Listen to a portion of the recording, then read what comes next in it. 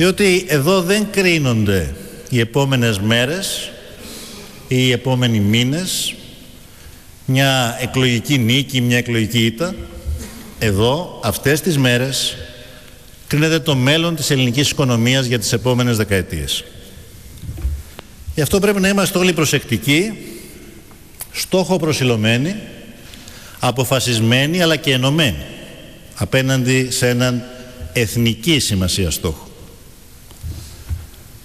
Η λύση που μας προτάθηκε στο Eurogroup της 22ης Μαΐου δεν έγινε αποδεκτή για έναν και βασικό λόγο. Διότι δεν εξασφάλιζε τα παραπάνω κριτήρια που σας περιέγραψα. Γεγονός που αναγνώρισαν και πάρα πολλοί από τους εταίρους μας.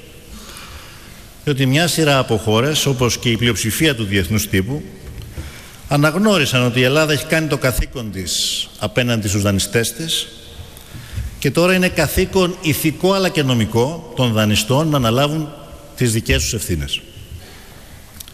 Είναι λοιπόν αναγκαίο και γι' αυτό εργαζόμαστε στο προσεχές διάστημα να γεφυρωθούν οι διαφορές και όλοι οι δανειστές μας και κυρίως οι Ευρωπαίοι συμπεριλαμβανομένοι και της Ευρωπαϊκής Κεντρικής Τράπεζας να καταλήξουν σε θετικές εκτιμήσεις για τη βιωσιμότητα του ελληνικού χρέους.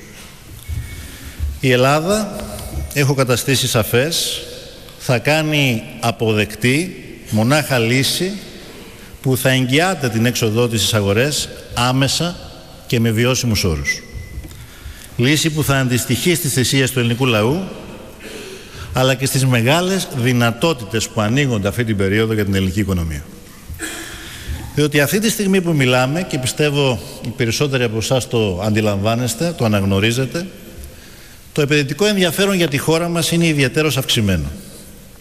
Και αυτό που αναμένουν τόσο οι επενδυτές όσο και οι αγορές χρήματος είναι ένα ξεκάθαρο σήμα. Ένα μήνυμα βεβαιότητας ότι το τρίτο πρόγραμμα θα ολοκληρωθεί με επιτυχία και ότι θα είναι το τελευταίο. Και η Ελλάδα θα αφήσει οριστικά πίσω της σαν έναν μακρύ εφιάλτη που όμως τελείωσε την κρίση, τα μνημόνια, την ύφεση, την αποεπένδυση.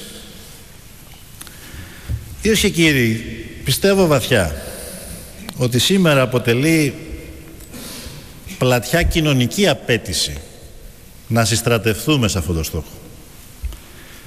Θα τολμούσα να πω ότι είναι κοινή εθνική απέτηση να αφήσουμε πίσω το παρελθόν και, ο, και όλες οι δυνάμεις, οι παραγωγικές, οι υγιείς παραγωγικές δυνάμεις του τόπου να συνδράμουμε στην επιτακτική προσπάθεια για την ανάταξη της οικονομίας και την απεξάρτηση της χώρας από τον εξωτερικό καταναγκασμό.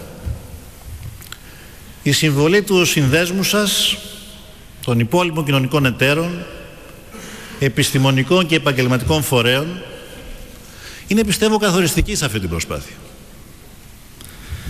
Από την αρχή της ε, ανάληψης της διακυβέρνησής μας σε πολύ δύσκολες συνθήκες προσπαθήσαμε να εγκαινιάσουμε διάβλους επικοινωνίας απευθείας μαζί σας. Τόσο απευθείας με το Πρωθυπουργό Γραφείο όσο και με τα Υπουργεία ώστε η ανταλλαγή των απόψεων, των προτάσεων, η επεξεργασία των προτάσεων να είναι άμεση και αποτελεσματική. Και αυτή η ανταλλαγή απόψεων, η κατάθεση τεκμηριωμένων προτάσεων και λύσεων είναι τώρα που πρέπει να συνεχιστεί και να εντατικοποιηθεί.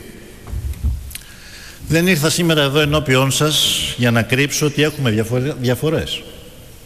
Διαφορετικές προσεγγίσεις. Πολιτικές και ιδεολογικές.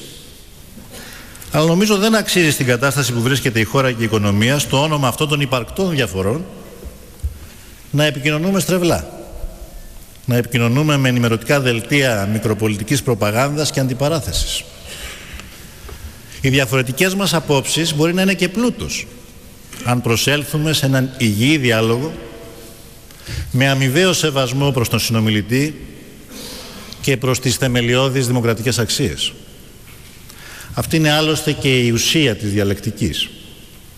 Αρκεί όλα τα μέρη να προσέρχονται καλόπιστα χωρίς παραπλανητικά ή ψευδοεπιστημονικά επιχειρήματα, χωρίς την απόκρυψη σημαντικών στοιχείων ή την υποτίμηση προσπαθειών και επιτευγμάτων και κυρίως χωρίς ακραίους χαρακτηρισμούς.